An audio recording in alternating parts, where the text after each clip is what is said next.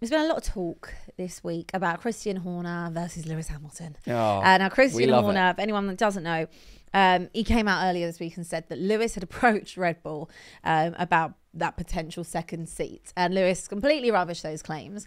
Um, now, Christian Horner has come back with a counteroffer um, and said that it was actually Lewis's dad that had the conversation with him about the second seat.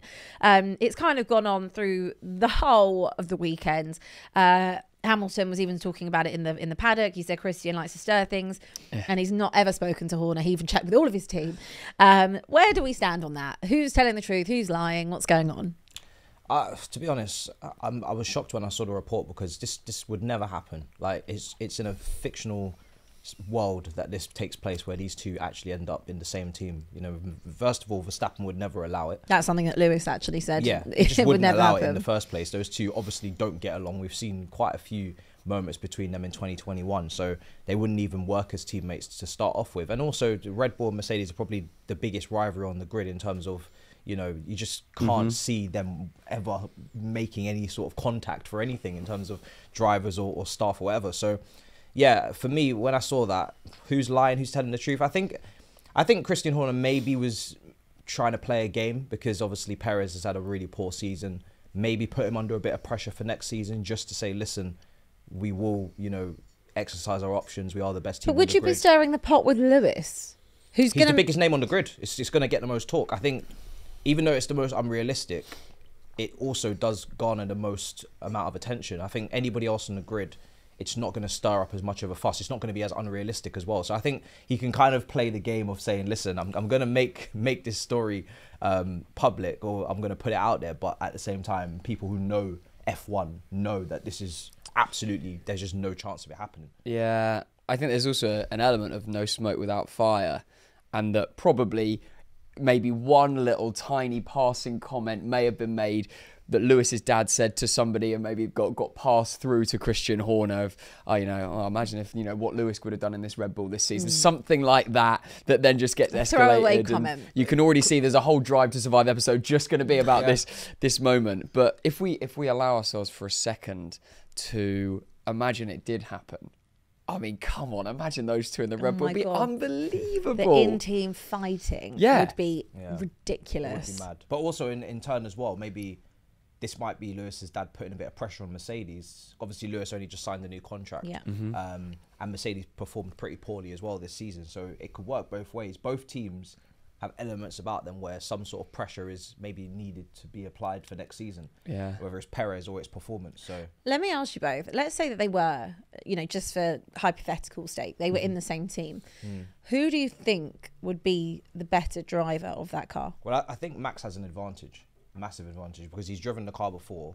Christian Horner absolutely loves him, and I think they'll tailor the car slightly towards him. What's their driving styles that match up? What would that be like? Do you think? Well, the question would be: Would they would they be both driving individually Yeah.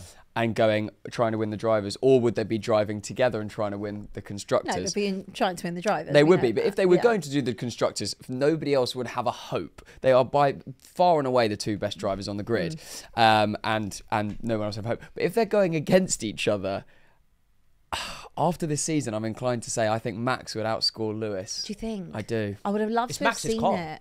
I know, but like I would have loved to have seen. I know we kind of saw it still like a little bit in 2021, but like I would have loved to have seen Mercedes at their pi- like at their peak with the car, Yeah. and Max where he is now in the Red Bull battling. And who knows, we might see it next season. Mm. But I would love to see the pair of them going head to head each week because we we even saw for, for like a very short period of time, like. If someone is leading the race and Max isn't, you know, we saw it with with last week with um Charles Leclerc. Like, Yeah. you know, he, he might have slightly pushed him off track, and like I want to see More, Max more than more than slightly, just put putting that out. there. I'll leave it open to interpretation. I want to see that battle at the front of the grid. That's I feel like what we've missed all season. I really do. So okay, so who wins?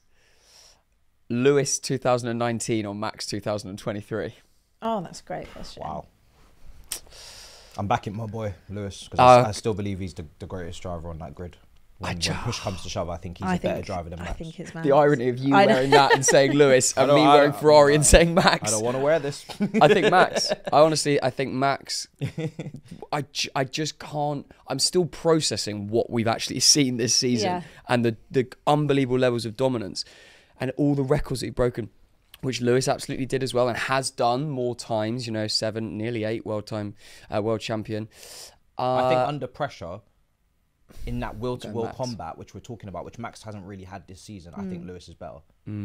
I think that's what we need to see more of We in haven't Max's seen enough of drive, Max. and that's not. We can't be critical of it because No, they had. they, fault. Yeah, it's not his fault. They haven't had the. Pre- yeah, they, they haven't had the pressure as well this season for him to do that, and that's what I would like to see next season. Not that I don't want Red Bull to be dominant, I do, but I really want to see those interesting battles at the front of the grid.